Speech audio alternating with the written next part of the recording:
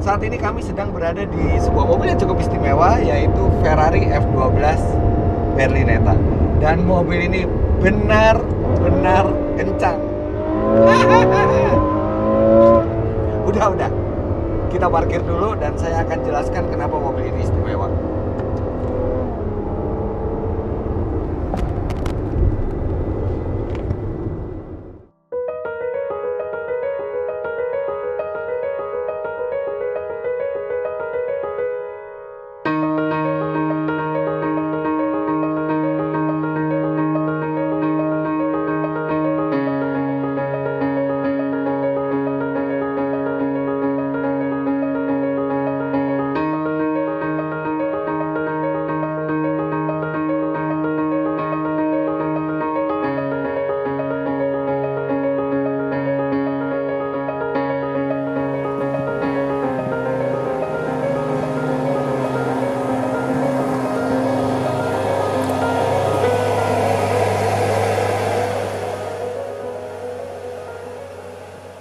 Ini adalah Ferrari yang paling buas dan paling bertenaga yang bisa Anda beli secara legal di Indonesia. Pecinta Ferrari pasti langsung protes dan bilang bahwa La Ferrari jauh lebih ekstrim dan bertenaga dari mobil ini. Iya betul. Tapi harus diingat bahwa La Ferrari hanya diproduksi dalam format setir kiri. Yang artinya walaupun Anda bisa membeli mobil itu di Indonesia, tapi Anda tidak akan pernah bisa untuk mengurus STNK-nya dan legal untuk ke jalan. Akhirnya F12 inilah yang semua orang bisa beli secara bebas kalau Anda punya uang untuk membelinya dan bisa berjalan di jalan raya secara legal. Mobil ini adalah jajaran terbaru dari Ferrari bermesin V12 yang artinya di pasar dia akan langsung bersaing head to head dengan rival abadinya Lamborghini Aventador. Sekarang kita lihat detailnya. Secara keseluruhan Anda bisa melihat bahwa desain mobil ini tidak terlalu ekstrim dan ada alasan yang baik karena itu. Kalau Anda bisa lihat, spakbornya ini seperti membentuk sebuah jembatan dan ada bolongan di bawahnya. Bukan sekedar untuk keindahan, tapi ini adalah di mana angin itu mengalir. Jadi Ferrari tidak mau memberikan apa-apa di sini karena itu hanya akan menghambat angin dan angin dibiarkan lolos ke bagian samping mobil secara smooth sehingga mobil ini memiliki aerodinamika yang sangat baik. Lantas ada detail lainnya. Kalau kita bisa lihat ke bawah, maka di sini ada ventilasi untuk rem. Dia akan membuka secara otomatis ketika rem terlalu panas dan dia mendinginkan dan ketika rem tidak terlalu panas dia akan menutup kembali untuk memperbaiki aerodinamika.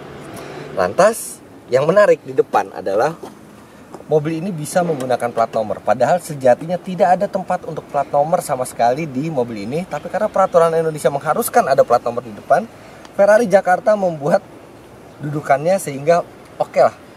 Uh, dia tidak terlihat terlalu jelek dan masih bisa ada plat nomor di depan. Kemudian di sini juga Anda lihat ada kamera yang akan membantu Anda pada saat setelah parkir untuk melihat mobil di depannya. Secara keseluruhan dari samping mobil ini terlihat seperti Grand Tourer dan memang mobil ini dirancang untuk perjalanan yang jauh. Bannya standarnya 20 inci, di depan lebarnya 255 mm, sedangkan di belakang mencapai 315 mm dan itu diperlukan karena tenaga yang dipunyai mobil ini memang sangat besar.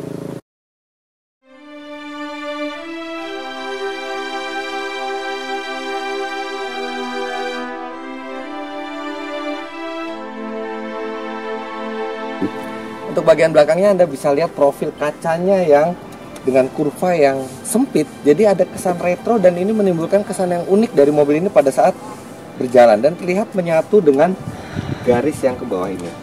Kalau dilihat ada empat buah knalpot dan knalpot ini suaranya wow, uh, sangat merdu dan melengking khas Ferrari. Di tengah, ini sebenarnya sebuah lampu kabut, hanya lampu kabut biasa tapi dibikin seperti lampu di Formula 1. Dan di sini ada kamera mundur. Dan itu berita baik karena Anda tidak ingin menabrak apa pun dengan mobil ini.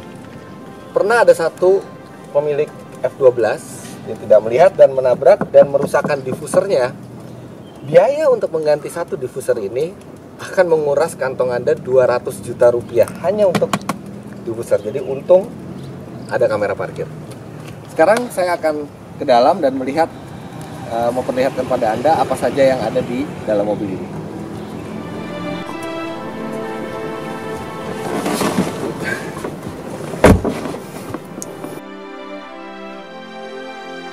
Kita nyalakan dulu.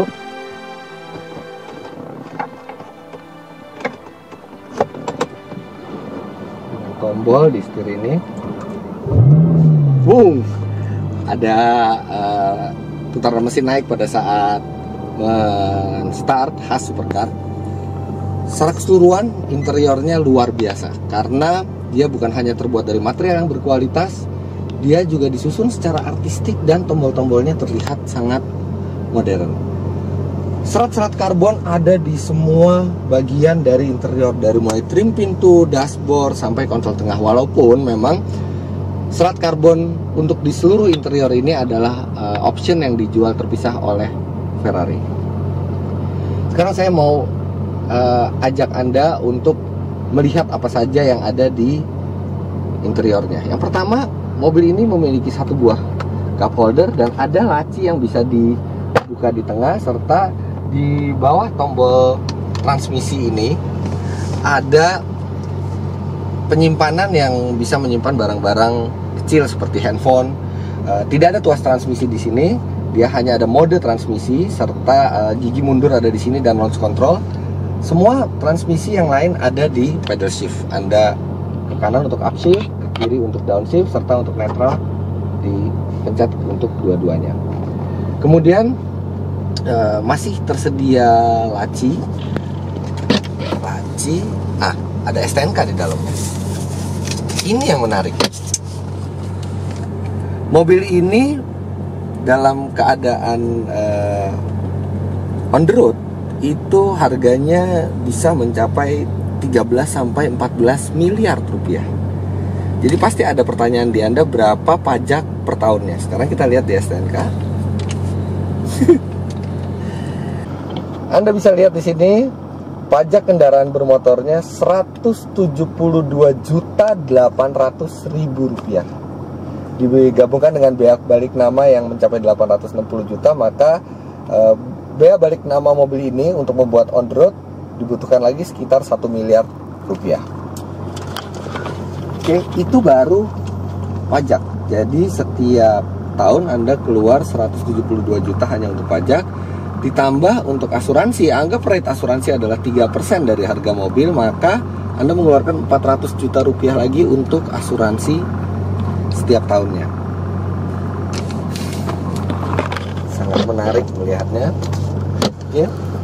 Tapi memang dengan harga mobil semahal itu yang dijual Ferrari adalah pengalaman berkendaranya dan memang sudah terlihat dari interiornya yang luar biasa ini. Dan mesinnya juga sangat istimewa. Unit mesin ini adalah serupa dengan Ferrari Enzo, namun ditingkatkan lagi tenaganya menjadi 740 HP yang artinya 40 HP lebih besar dari Aventador, bahkan masih 20 HP lebih besar ketimbang Aventador SV sekalipun.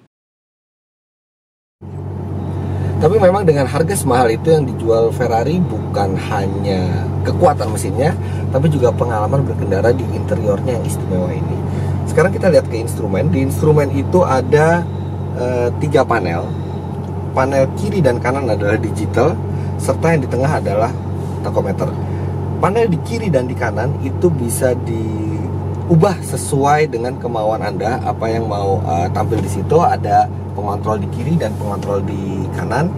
Pada intinya di kiri adalah untuk informasi mobil. Anda bisa melihat berapa suhu mesin, berapa suhu oli, uh, pada setiap mode berkendara juga traction control seberapa, kemudian ya ESC-nya seberapa. Sedangkan di kanan adalah tombol uh, infotainment.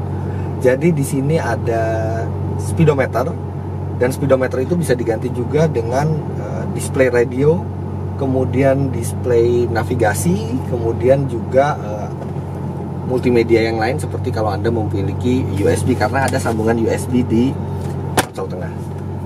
Tapi uniknya memang Anda harus memilih kalau Anda ingin melakukan navigasi satelit, Anda harus memilih antara menampilkan speedometer atau menampilkan navigasi satelit. Jadi Anda bisa memantau kecepatan tapi nyasar atau Anda bisa nggak kesasar tapi nggak tahu lagi ada di kecepatan berapa.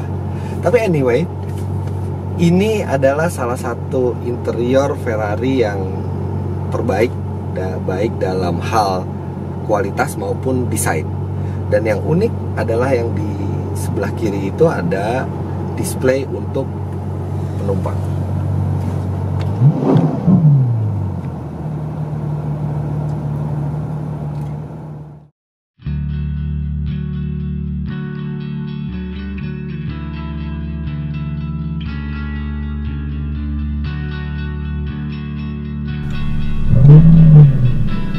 Nggak perlu berlama-lama sekarang kita langsung rasakan saja gimana mobil ini di jalan.